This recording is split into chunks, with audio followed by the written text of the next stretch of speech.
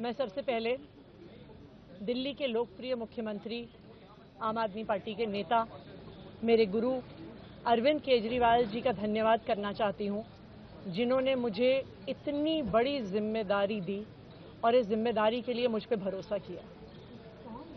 ये सिर्फ़ आम आदमी पार्टी में हो सकता है, अरविंद केजरीवाल जी के नेतृत्व में हो सकता है कि एक फ़र्स्ट टाइम पॉलिटिशियन एक राज्य की मुख्यमंत्री बने।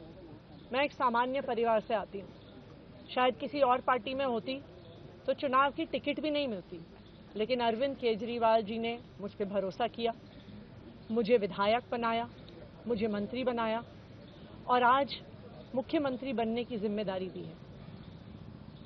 मुझे सुख, मैं खुश हूँ कि अरविंद केजरीवाल जी ने मुझ पर इतना भरोसा किया है। लेकिन जितना सुख आज मेरे मन में है आज उससे बहुत ज़्यादा दुख भी मेरे मन में दुख इसलिए कि दिल्ली के लोकप्रिय मुख्यमंत्री, मेरे बड़े भाई अरविंद केजरीवाल जी आज इस्तीफा दे रहे हैं।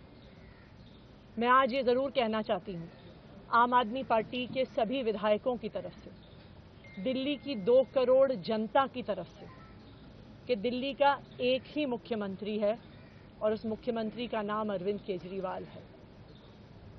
भारतीय जनता पार्टी ने पिछले दो साल से अरविंद केजरीवाल जी को परेशान करने की उनके खिलाफ षड्यंत्र